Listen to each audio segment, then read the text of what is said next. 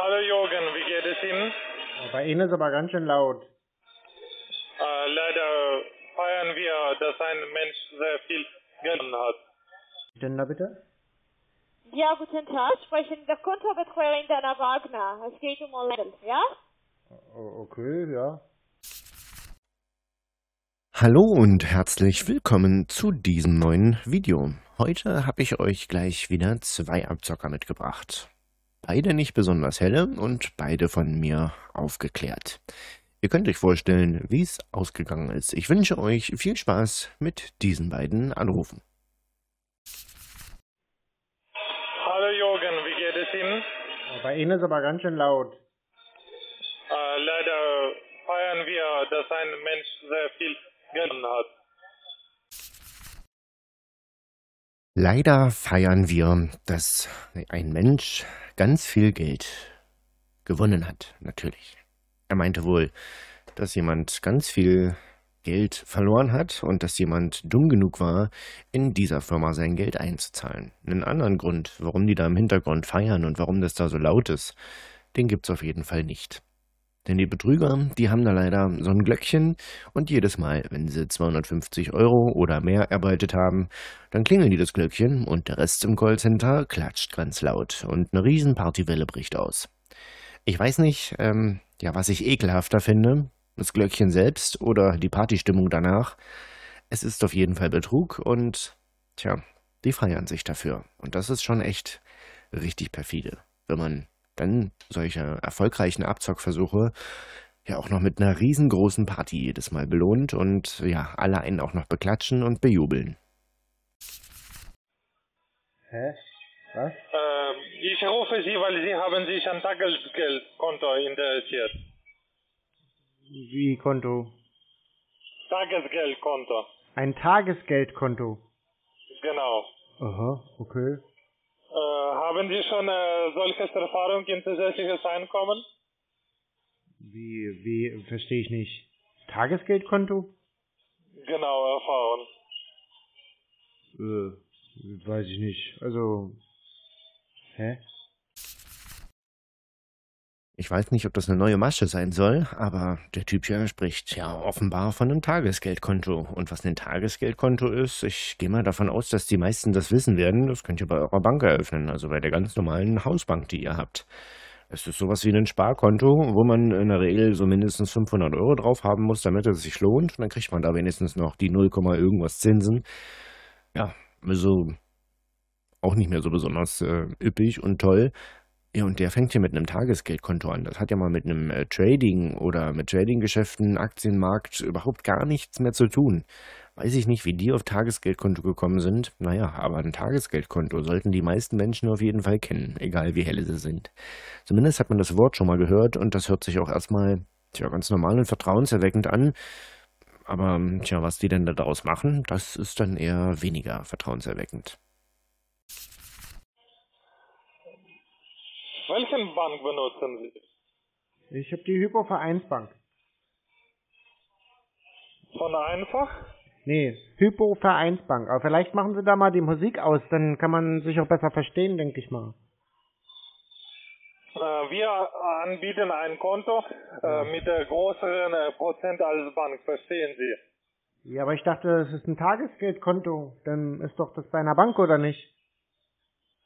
Genau, äh, nein, das ist nie, nicht wie eine Bank, das ist ein Konto, mit dem können Sie täglichen Profit erhalten.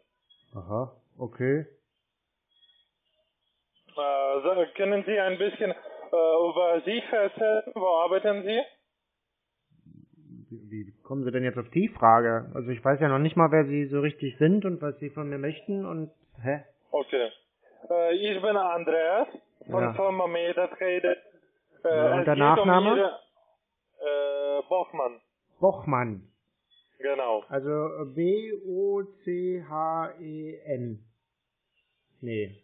Äh, Bertha, Otto, Cäsar, Heinrich, äh, Martha, Anton, Nordpol, Nordpol. Ja genau, hm, so habe ich das gemeint. Ja, und weiter? Ja, weil es geht äh, um Ihre Anmeldung äh, an äh, Tagesgeldkonto. An ein Tagesgeldkonto. Okay, ja, dann machen wir das. Machen wir. Ja, hm. Genau.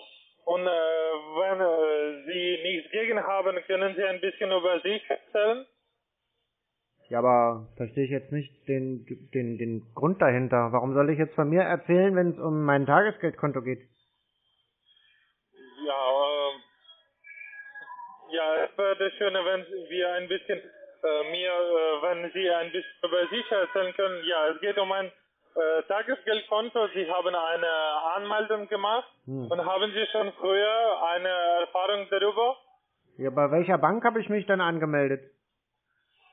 Äh, das, das ist nicht eine Bank, das ist äh, nur ein Konto, mit dem erhalten Sie tägliches Profit. Ja, aber, Aber hat man nicht ein Konto eigentlich, hat man denn nicht ein Konto eigentlich bei einer Bank? Nein, äh, es ist kein Bo äh, äh, Konto bei Bank, es ist ein Konto bei einer Plattform. Mhm, Bei einer Plattenform. Ja, bei einer Plattform bei unserer Firma. Okay. Gibt es das auch unter ID oder gibt es nur platt? Äh, können Sie wiederholen Ihre Frage bitte? Nee, schon gut. Machen Sie mal weiter da. Äh, ja, es gibt äh, bei Ihnen, äh, gibt eine Möglichkeit, Ihnen bei uns ein Konto öffnen. Mit dem werden Sie ein tägliches äh, Ertrag erhalten, bis äh, 50 Prozent von der äh, Summe per Monat. Aha. Also 50% Gewinn im Monat. Ja, genau. Aha. Und wie geht das? Äh, Sie äh, öffnen bei uns äh, ein Konto. Äh, wir machen den für Sie und äh, Sie können äh, auf dem Konto den Geld äh, benutzen, wie Sie möchten, aber auch werden wir Ihnen ein passiven äh, Einkommen bringen. Diese tolle Firma garantiert mir also 50% Gewinne. Mhm. Super. Also noch seriöser geht's glaube ich nicht, ne? Ich meine 50% Gewinn und das garantiert man mir hier. Auf dem hochspekulativen Börsenaktienmarkt. Logisch. Also, ich weiß nicht, wie die auf sowas kommen und ich weiß auch nicht, wer sowas glauben soll. Das, äh, wir arbeiten hier mit, Hochspekulat äh, mit hochspekulativem Geschäft und äh, der will mir wirklich 50% Gewinne äh, versprechen. Ich weiß es nicht. Keine Ahnung, wie die auf sowas kommen. Also doch eine Bank.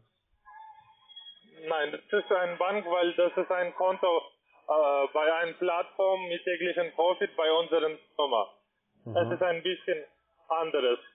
Weil wenn äh, fragen Sie direkt, ob es ein Konto bei Bank ist, nein, das ist kein Bank.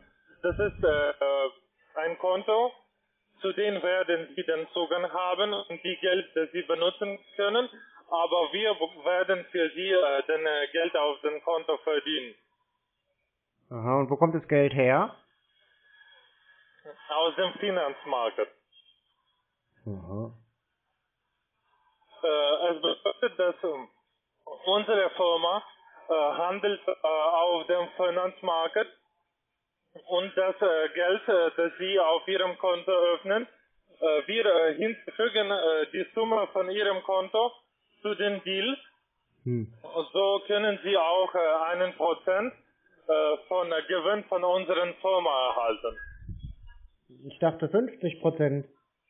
Ja, 50, es geht um 50 Prozent, wie ich gesagt habe, aber ich habe Ihnen äh, ein bisschen äh, erzählt, wie das genau funktioniert. Aber ja, es geht um 50 Prozent. Ja, okay. Und nun? Ja, ich höre Sie. Verstehen Sie äh, ein bisschen, wie das mir funktioniert? Nee, bei euch ist so laut. Ich verstehe eigentlich kaum was. Weil das ist ein Krach im Hintergrund. Können wir den irgendwie abstellen? Nein, äh, äh, das ist ein, äh, unsere Atmosphäre, weil will immer feiern, wie viele unserer Kunden verdienen. Verstehen Sie? Also der meint, das ist deren Atmosphäre. Tja, wenn er der Meinung ist, dass das eine gute Atmosphäre ist, um irgendwelche tja, Finanzgeschäfte zu machen, ich weiß es nicht. Also, das haben die Betrüger alle irgendwie gleich. Ihr wisst ja Bescheid.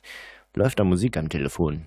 Ist das 100% ein Betrüger-Callcenter, was euch da irgendwie anruft?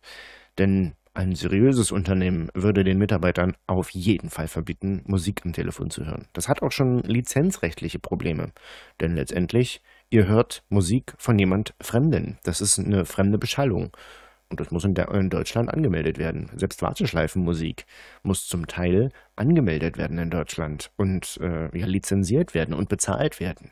Ja, und dann einfach Musik im Hintergrund laufen zu lassen, die äh, ja in den meisten Fällen auch nicht GEMA-frei ist oder zumindest lizenzfrei. Ja. Also gibt's nicht in Deutschland. Auf gar keinen Fall. Keine seriöse Firma hat Musik im Hintergrund. Und eine Party, weil jemand irgendwas eingezahlt hat, wird da auch nicht gefeiert. Oder stellt euch mal eure Banktante vor, ihr geht da aus ihrem Büro raus und die lässt die Sektkorken knallen, weil ihr gerade eine Versicherung abgeschlossen habt. Bescheuert.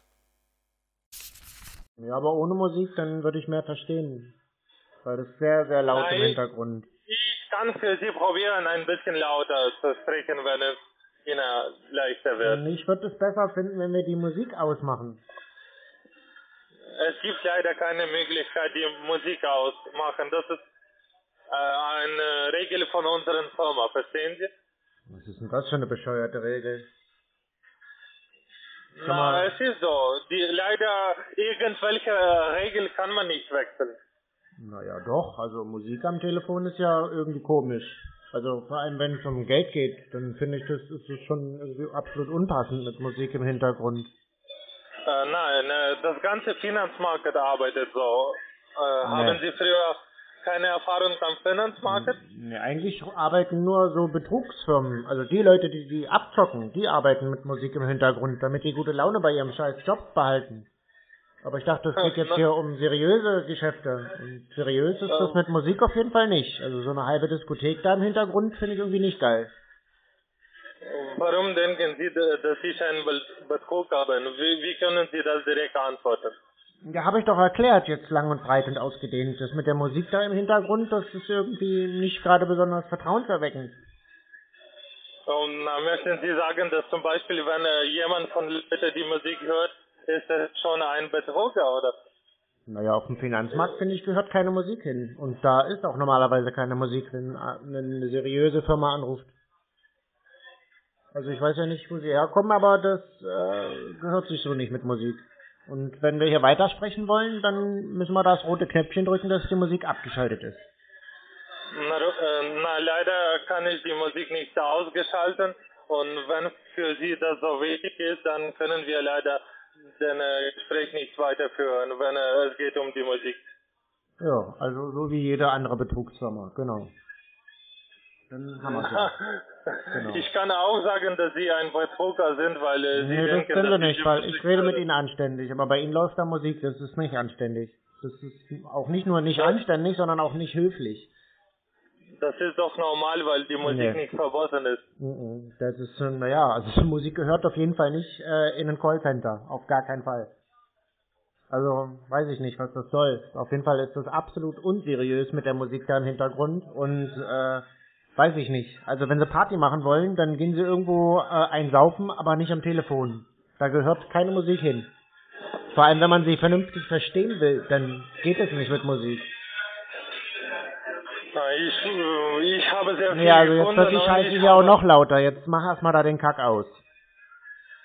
Ich habe noch nie äh, gehört irgendwelche äh, Präsentationen über die Musik, weil wir haben ja, dann viele Kunden. Gib mir mal deinen Vorgesetzten da. Na, werde ich. So kann man doch nichts verkaufen. So kann man doch kein Geld verkaufen, machen. aber wenn Sie irgendwas über die Musik machen, das, dann was kann ich machen? Wenn Sie mit mir nicht sprechen möchten, dann werde ich dann nee, du kannst, mir doch, du kannst mir doch einfach mal einen Vorgesetzten geben, dann rede ich mit dem Materialis. Weil was soll ja, das da mit der Musik? Das ist doch Quatsch. Das macht man doch nicht. Ich denke, wenn Sie nicht sprechen wollen, dann möchten wir auch nicht sprechen. Naja, ich denke mal, es wird ja wohl möglich sein, einen Vorgesetzten ans okay. Telefon zu bekommen, oder nicht? Danke für den Gespräch. Betrüger, Abzocker.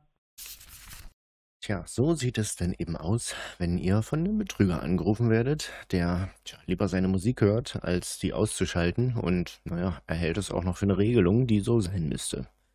Ganz bestimmt. Sicher. Ich denke mal, wir wissen ganz genau, was das für ein Anruf war und ähm, da kann er sich auch nicht rausreden. Tja, aber bei dem Wort Betrüger, da triggert man die Leute auch immer irgendwie gleich. Keine Ahnung. Weiß nicht, warum die sich nicht angesprochen fühlen, aber die Leute sind nichts anderes als Betrüger. Und das ist das Dramatische an der Geschichte. Die bescheißen euch um, ihr, um euer Geld. Und die hören lieber Musik dabei. Tja, ist die Partystimmung größer, ne? Naja, machen wir mal weiter mit der nächsten Tante am Telefon. Die ist auf jeden Fall kein Deut besser als den ersten Typen, den wir hier in diesem Video hatten. Ich wünsche euch viel Spaß mit dem zweiten Anruf. Sender bitte? Ja, guten Tag. Sprechen der Kontobetreuerin Dana Wagner. Es geht um Olendl, ja? Okay, ja. Jetzt sehe ich, dass Sie haben sich angemeldet im Onlinehandel. Ich kann Ihnen helfen, Ihr Konto zu aktivieren. Okay. Ja, dann- Sagen Sie mir bitte, haben Sie Erfahrung in diesem Bereich oder das ist das das Mal für Sie? Nö, also bis jetzt, äh, nö. Was ist das Mal? Ja. Okay, können Sie bitte etwas lauter sprechen, wenn ich bitte? Ja, so besser? Danke. Ja, sehr gut. Okay, jetzt äh, sagen Sie mir bitte, möchten Sie aktivieren Ihr Konto von Ihrer Seite oder kann ich das machen selber? Ja, dann äh, machen Sie mal. Okay. Äh, welche Methode benutzen Sie? Das ist, also ich meine, Mastercard haben Sie oder Visa-Card? Haben Äh. Sie Credit-Debit-Card überhaupt, oder? Ja, ja, eine Kreditkarte besitze ich. Na klar, natürlich. Haben Sie keine? Haben Sie Master oder Visa? Ich habe eine Dong Swang. Bitte? Eine Dong Swang. Was ist das? Ja, das ist äh, so eine Karte von einem Kollegen hier. Genau. Als allererstes geht's im seriösen Telefonat, ja, mit der netten Banktante, ja, erstmal um die Kreditkartendaten, ob man äh, irgendwie zahlen kann. Ja, macht jede Bank so, logisch. Naja. Auf jeden Fall die Dong Swang Karte, sehr zu empfehlen, die findet ihr auf dem äh, YouTube-Kanal Callcenter Terrorist. Haben Sie selber Karte, Credit-Debit? Master oder Visa? Ja, ja. Ja? Hm? Welche, Master oder Visa? Das habe ich beides. Beide. Okay. Ja. Wenn ich bitte, äh, können Sie mir bitte sagen, mit welchem Betrag möchten Sie machen Ihr Handel? Mit 500 oder mit 1000? Weiß ich nicht, was was wäre denn da jetzt sinnvoll? Hier haben wir auf jeden Fall mal eine Firma, die scheinbar den Hals nicht voll kriegt. Denn 250 Euro scheinen hier nicht auszureichen. Hier soll man gleich mit 500 oder mit 1000 Euro einsteigen. Tja, so ist, ist man natürlich gleich viel mehr Geld los. Das ist allerdings auch ein kleines, äh, ja, klei kleiner Indiz dafür, dass äh, diese Firma hier höchstwahrscheinlich nur einmal anrufen wird, um die Leute ja beim Erstkontakt abzugrasen, aber da keine wirkliche Struktur mehr weiter hintersteckt. Denn warum sollte man den Kunden gleich nackig machen, wenn man das äh, Spielchen sonst hinterher erst durchzieht? Ich weiß es nicht, aber ähm, könnte hier in dem Fall so sein. Letztendlich müsst ihr euch da immer eure eigene Meinung bilden, äh, was wir hier für eine Telefonfirma am anderen Ende haben. Tja, die kann ich euch nicht in, in den Mund legen, aber ich denke mal, das kommt hier schon ganz gut zur Geltung, dass man sich da eine eigene Meinung bilden kann, was wir hier wieder für eine tolle Tante am Telefon haben. Also, wenn Sie machen das mit 500, dann geben wir Ihnen 200 Dollar Bonusgeld. Wenn Sie machen das mit 1000, geben wir Ihnen 500 Dollar als Bonusgeld. Mit 1000 können Sie sehr großen Profit bekommen, jede Woche, 50 Prozent. Okay. Ja, mit welchem Betrag dann möchten Sie das machen? Hm, weiß nicht, was sind die sicherste? Haben Sie 1000 in Ihrer Karte? Na, auf einer Kreditkarte kann man ja kein Geld haben. Eine Kreditkarte ist ja Kredit. Kredit heißt ja schon ausleihen. Also haben Sie kein Geld in Ihrer Kreditkarte? Na, wer hat denn Geld auf seiner Kreditkarte? Sowas geht doch gar nicht. Also dieser Blödsinn ist mir tatsächlich jetzt schon so oft aufgefallen. Die Betrüger fragen einen, ob man Geld auf seiner Kreditkarte hat. Auf einer Kreditkarte kann man kein Geld haben. Eine Kreditkarte ist immer ein Minuskonto.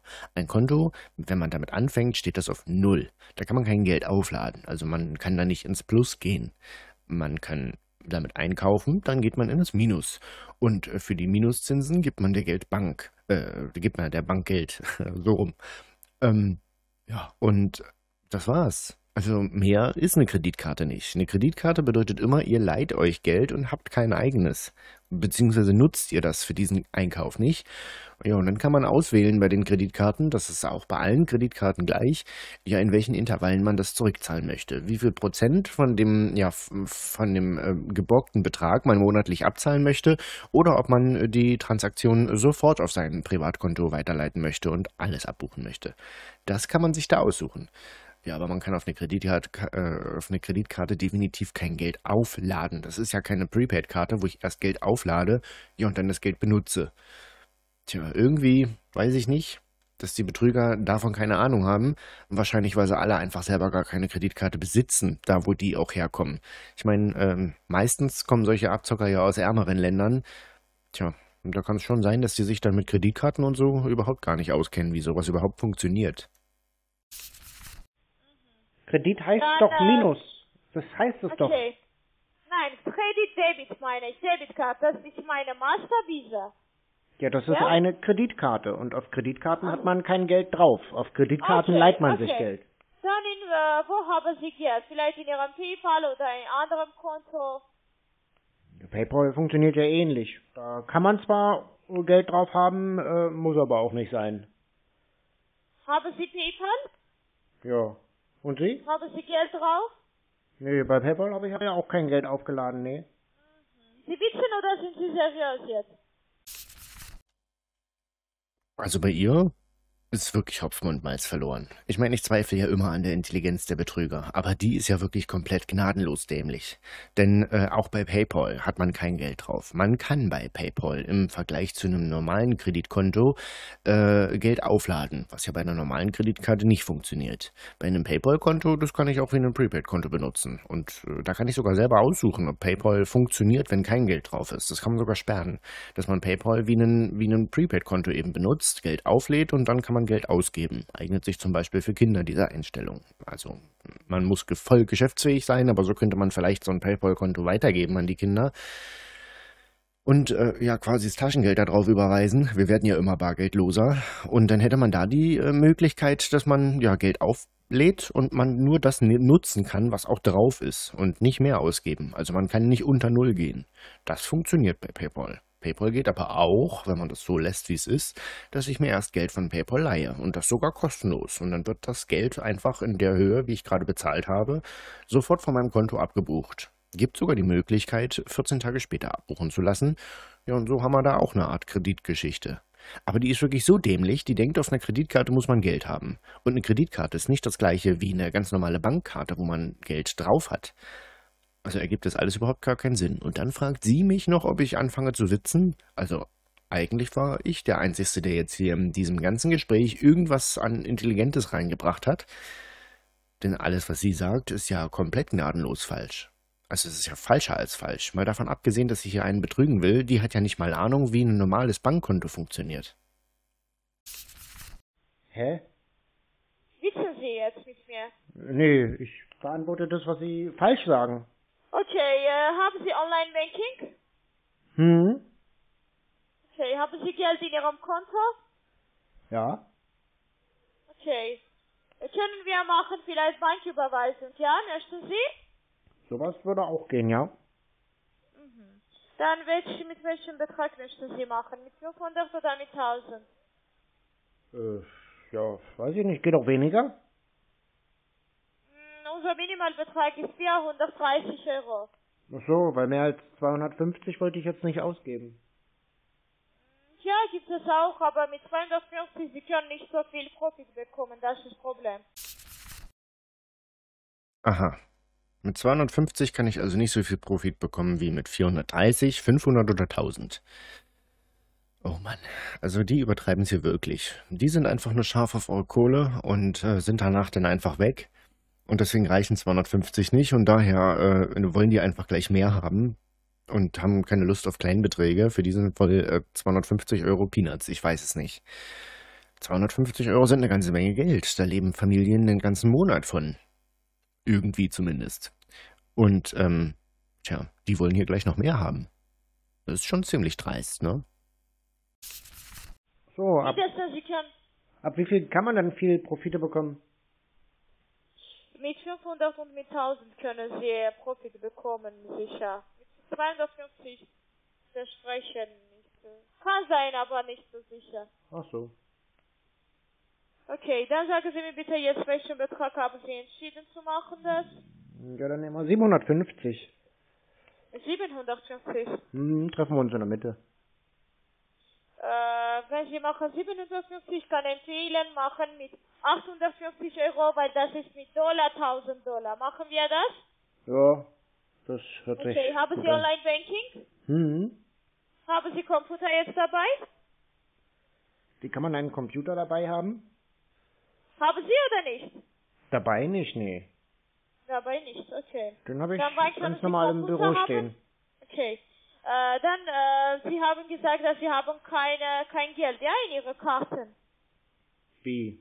Doch, ich hab Geld. In Ihrer Masterkarte, Visa-Karte haben Sie kein Geld, richtig, oder haben Sie? Na, das sind ja Kreditkarten, da hat man kein Geld. Wer hat denn da Geld drauf? Geht doch gar nicht. Okay. Äh, okay, dann vielleicht haben Sie in Ihrem Konto diese 850 Euro, richtig? Hm. Okay. Äh, welche Handy benutzen Sie? Das ist Samsung oder iPhone? Äh, Ich hab ein iPhone. Haben Sie auch Samsung oder nur iPhone? Nee, nur iPhone. Nur iPhone, okay.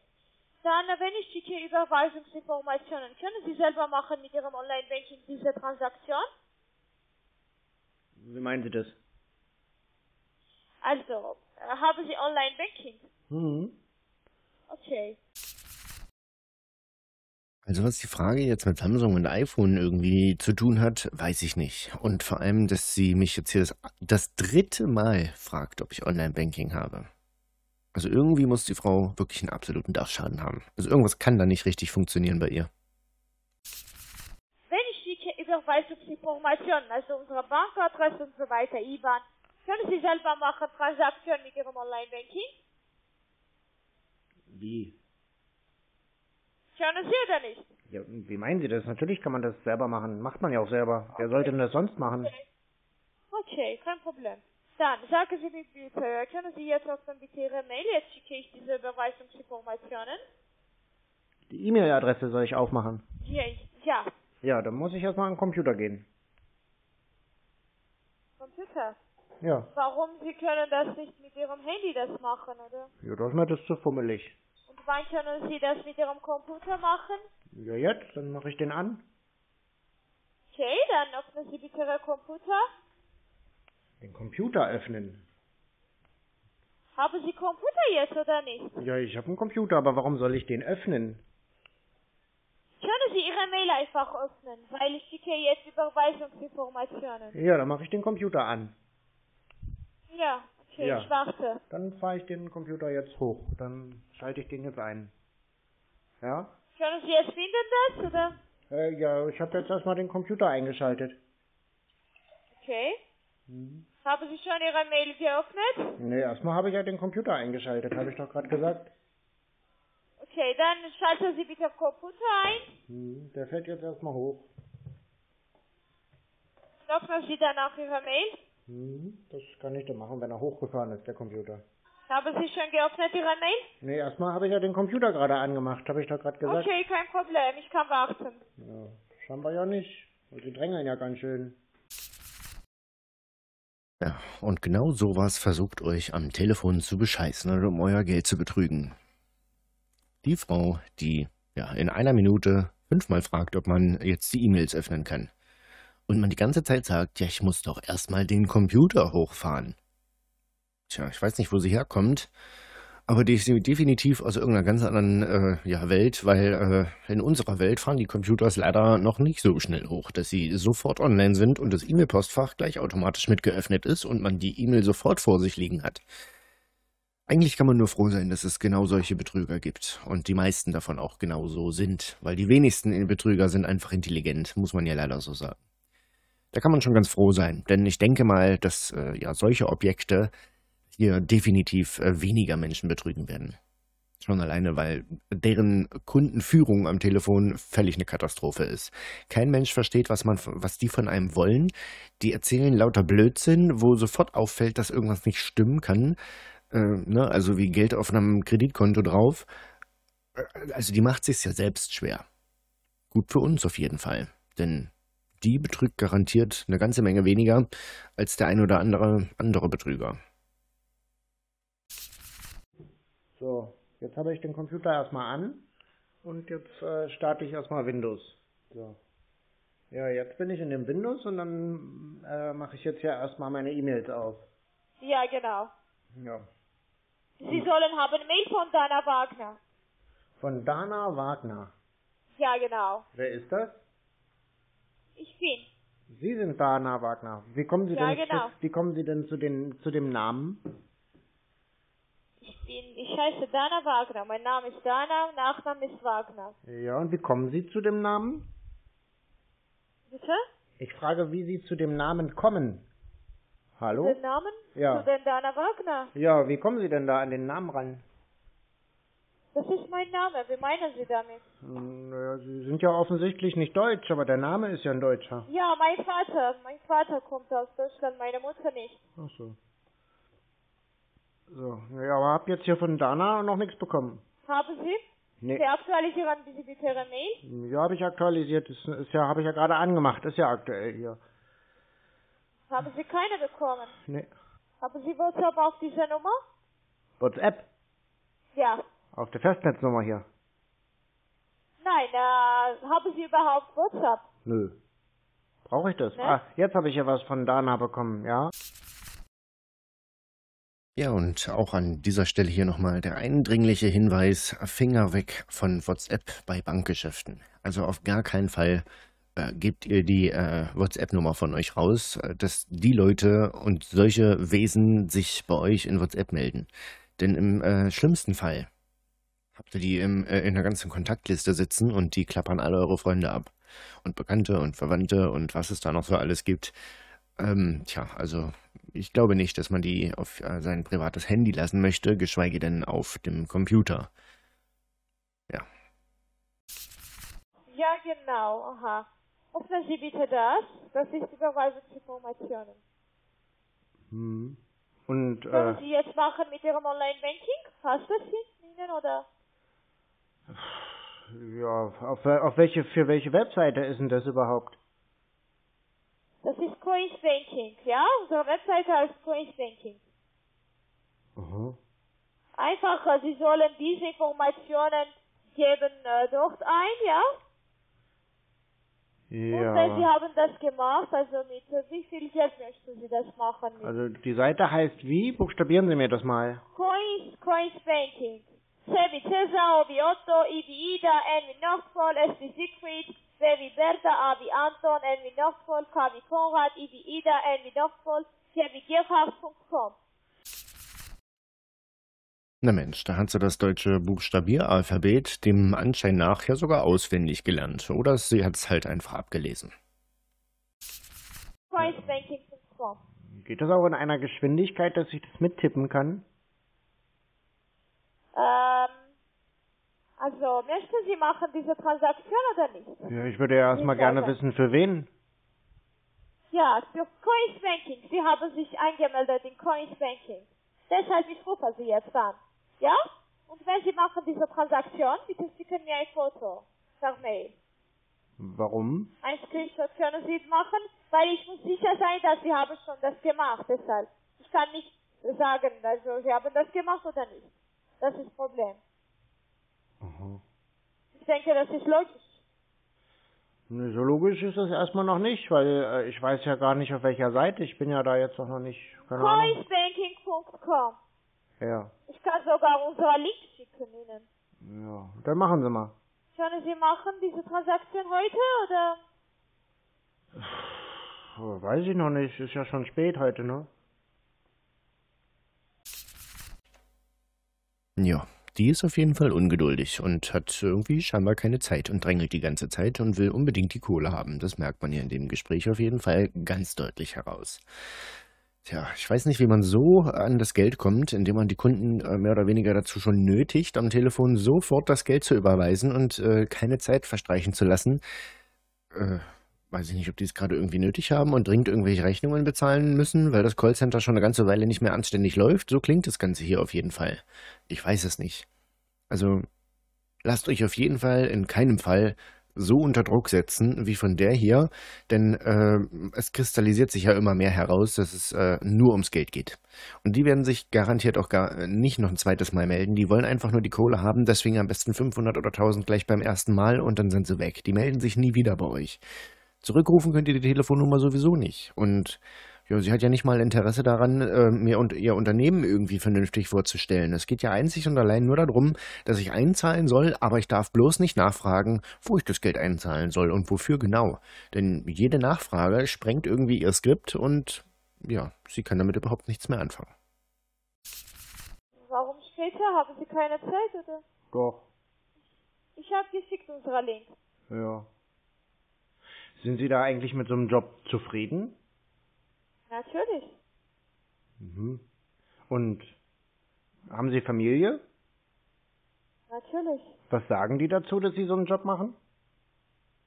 Also, Herr Gerold, äh, werden Sie machen diese Transaktion oder nicht? Weil, äh, Ja, ja, aber dazu müssten wir uns ja erstmal unterhalten, oder nicht? Natürlich können wir, aber Na ich bin sicher sein, dass Sie werden haben, machen diese Transaktion. Das ist okay. Ja, aber Sie... hätten gerne, kann ich machen. Ja, naja, und was sagt die Familie zu dem Job? Sie sind auch zufrieden. Meine Mhm. Mitglieder, Familienmitglieder. Ja, aber wissen die, was Sie da machen? Ja, natürlich. Mhm. Was meinen Sie damit? Ja, naja, Menschen betrügen und abzocken, das ist schon eigentlich armselig. Das heißt, Sie werden nicht machen, ja?